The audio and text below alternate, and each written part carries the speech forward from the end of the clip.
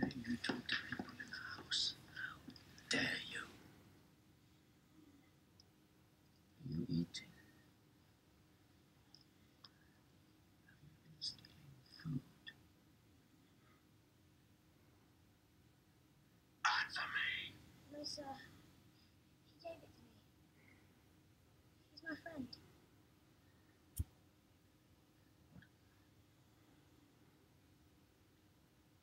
Little man.